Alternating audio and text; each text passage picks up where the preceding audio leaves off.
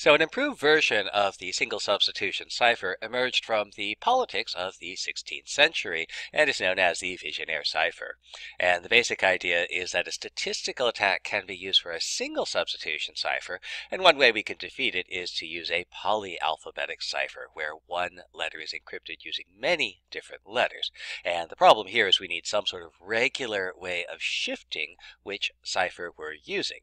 The problem with this type of approach is we have to remember which table we're using. And there has to be a convenient way of writing this down or of remembering this because again, anytime you require something to be written down, you run the risk that somebody's just going to steal the code book. So in 1553, Giovanni Bellaso suggested the following approach to this problem. And what he did is he said, all right, well, suppose I take an openly known set of substitution tables. And these are either openly known or the generation rule is simple enough that anybody can figure them out. And Bellaso himself gave as an example the following starting set of tables. Uh, so what he did is he these tables are indexed by two letters, A, B, C, D, E, F. And there's more tables, I just haven't copied them down. And the tables have a particular setup. So you'll notice here that in this first table I have the letters A through M, and actually in all these tables I have the letters A through M in the top row, and in the bottom row I have the remaining letters of the alphabet, except what I'll do from table to table is I'll shift this bottom row only over one place. And because the generation rule is simple enough, all I have to do is remember the generation rule, and then I can reproduce this entire set of tables without any difficulty. So how do we use this method of encryption? Well, what we'll do is we'll pick a keyword, which doesn't have to be a word. It can just be any easily rememberable set of letters. Uh, but we'll take the actual word beaded. And in this particular case, I chose the word beaded because the letters of this keyword correspond to the letters in the index here. Now again, if I had the full set of 13 tables, I could pick any word or set of letters that I wanted to.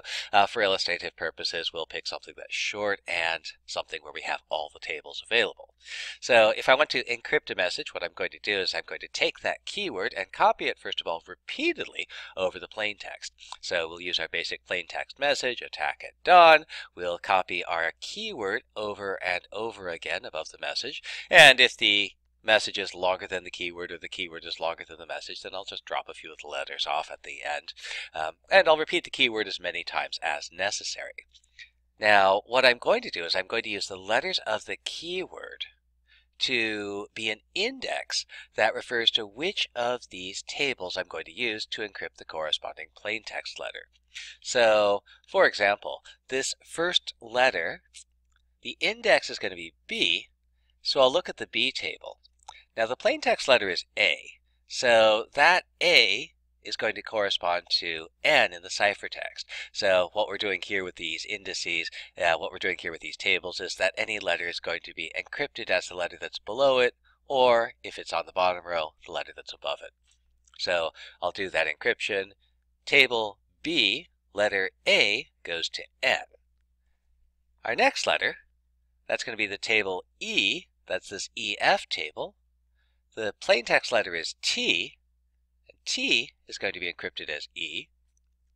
The next letter, index A, plain text letter T, is going to be encrypted as G, and so on. So again, next letter, index D, letter A. Table D, A gets encrypted as O, and I can encrypt the remaining letters of the ciphertext. I can produce the remaining letters of the ciphertext in this fashion. And this works very nicely. It allows us to produce a polyalphabetic cipher where I have a very easy way of remembering what the substitution tables are going to be. Now, in 1586, Blaise de Vigenère, uh, a French cryptographer, uh, introduced several changes. Um, one would say that they're improvements on Bellaso's cipher. And so instead of using the substitution tables, uh, what he did is he used the letters of the keyword themselves to determine the shift of the cipher that we'll be using. And the easiest way to think about this is that the letter of the keyword is the ciphertext version of the plain text A. So that first letter of the keyword tells us what our letter is going to be sent to. Uh, the other thing that Vigenère suggested is that rather than repeating the keyword, which causes the uh, causes an imparts a particular periodicity to the encryption alphabet, uh, he suggested, well, you can use the text itself to help encrypt the message. And this is the first appearance of what has come to be known as an auto key cipher. Well, let's see how that works. So again, we'll choose a keyword, and again, we'll choose our keyword beaded, and we'll put down our plain text in the keyword. So here's our plain text, again, attack at dawn. Our index is going to be beaded, except we need an encryption for the last few letters. And so Vigenère's suggestion is to use the message itself to determine what those next few letters are going to be. So the message begins attack, and so my index will continue using those letters. And again, the first letter of the plain text is A, the first index is B, and again what this suggests is that I want to use a shift cipher where my plain text letter A is going to be sent to B. That's a shift 1 cipher, so A gets encrypted as B. My next letter is E, and that suggests that the shift cipher I'm using sends A to E. That's a shift 4, so this letter T will be get sent to U, V, W, X. The next letter is going to be A, and here's an interesting case that says that I'm sending A to A itself, and that's a shift 0. My next index letter is D. So again, A is being sent to D. That's a shift 3, and so that A gets sent to D. And I can encrypt the rest of the plain text in this fashion.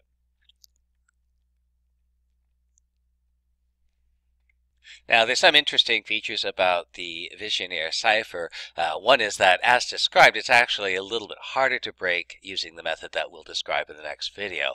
Uh, but the other thing that is a little bit of a problem with the Vigenère cipher is that when I'm encrypting it, I know what the message is, so I have no problem recreating this index with perfect uh, with perfect fidelity. When I'm decrypting it, well, I know the first portion of the key and so that means I can take this first portion of the ciphertext and get the first part of the message. The problem is, if I make a mistake any place in this decryption, if I make any sort of mistake here, because I'm then using this to form the next part of the key, then the next portion is going to have errors in it, and these errors tend to propagate along the message. And one of the primary difficulties with using the Vigenère cipher is that if you make a mistake decrypting the plain text at any point, from that point forward, you're going to be getting a lot of gibberish.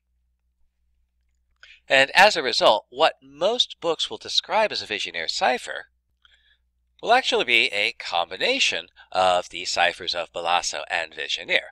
So as Bellaso did, we're going to take our keyword and repeat it over and over again to form the index. Uh, the keyword itself identifies a particular shift that we'll be using.